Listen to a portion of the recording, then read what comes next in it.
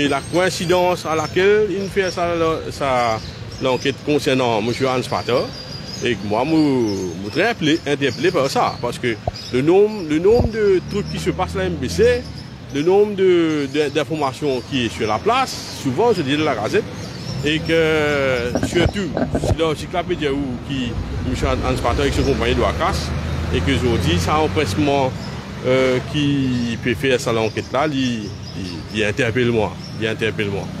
Et que moi, je pense que on a autre chose à faire pour ce pays, on a autre chose à faire euh, dans le concret, et que si vous, pour répondre à vos questions, fais-moi la GIS, finalement une situation que moi je bien aller, je préfère aller, et que euh, je rester encore deux ans. Mais je pense que euh, la situation et certaines pressions qui sont là, et je préfère aller. Mais pour le moment, euh, je ne vais pas vous dire davantage.